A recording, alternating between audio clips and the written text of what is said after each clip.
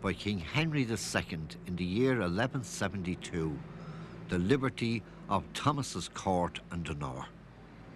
It was on the roadway outside St. Catherine's Church that the gallows were erected, where Robert Emmet was hanged and beheaded on the 20th of September 1803.